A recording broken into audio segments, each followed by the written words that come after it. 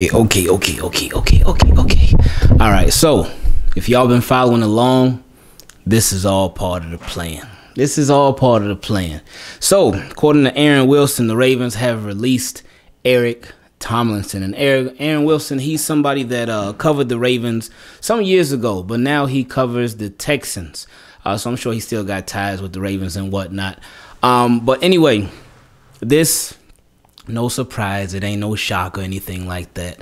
Uh, and this is something that I've expected, and still, what I think is going to go down. Um, Nick Boyle, they activated him on the roster, so that was as expected too. So, just a quick recap with Eric Tomlinson's situation, Nick Boyle. Um, I think that Nick Boyle he'll start the season on injury reserve. After he gets through making the active roster, they'll put him on injury reserve then on regular season injury reserve. And then that's when they'll bring back Eric Tomlinson. I'm sure they told him, like, Eric, look, we, we love you. You know we got love for you, Eric. We, you know we got love for you. Thank you. Um, but look, we're going to release you now, but just wait. Don't go nowhere. Don't go nowhere. Don't sign with nobody. Same thing they told Dez last year. Don't sign with nobody.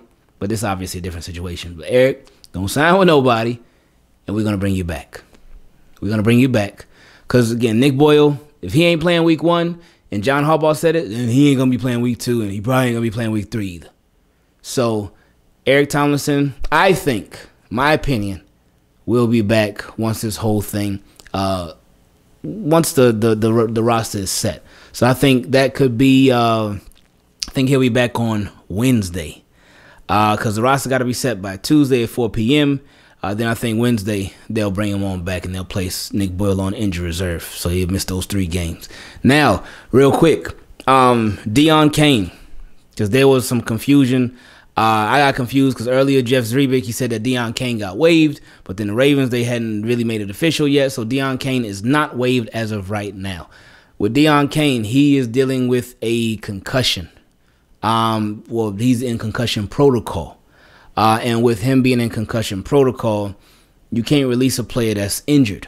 You have to wait until they are fully healthy, uh, or you put them on IR. And then when they come fully healthy, you can either keep them on IR or come to an injury settlement with that player, and then they can be a free agent. Uh, so Deon Cain, there has not been a move made on Deon Cain yet, uh, but he's not going to make the roster, unfortunately. Uh, so best case scenario for him, uh, well, not even best case scenario because I was gonna say uh, best case scenario would be IR stash.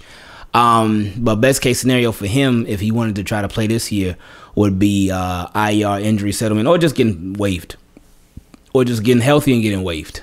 Um, but it ain't like they can make his concussion all of a sudden go away uh, by tomorrow, because tomorrow is when they got to come up with the uh, with the roster. They got to go from wherever they are now to a 53 man roster. So I would think it would be IR for Deon Cain because he's, he's not going to be on the roster. So it's looking like it's going to be injury reserve. And with Binjimen Victor, he's another one uh, that in concussion protocol.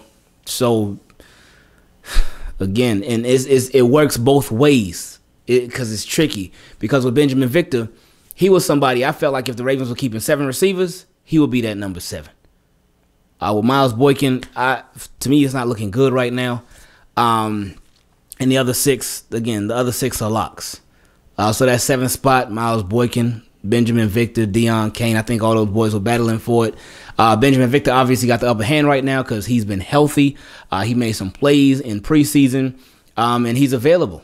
But right now, with him also being in concussion protocol, you can't just automatically make that concussion go away.